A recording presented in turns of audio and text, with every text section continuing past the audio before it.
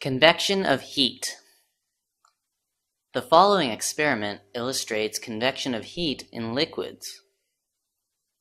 Take a round-bottomed flask. Put some crystals of potassium permanganate in it. Pour water into the flask gently so as not to disturb the crystals much. Slowly heat the flask. Water molecules go up from the level of the potassium permanganate, reach the surface of the water, and then come down, touching the sides of the flask.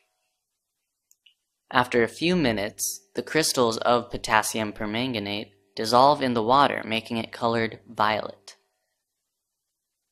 The water at the bottom gets heated and expands. The density of water becomes less because of this expansion. Therefore, water becomes light and goes up to the top of the flask.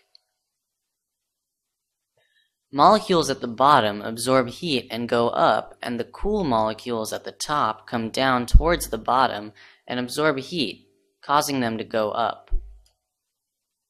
In this way, heat gets transferred from one place to another. This process is called the convection of heat. The difference in the densities of the different parts of the substance is responsible for the phenomenon of convection of heat.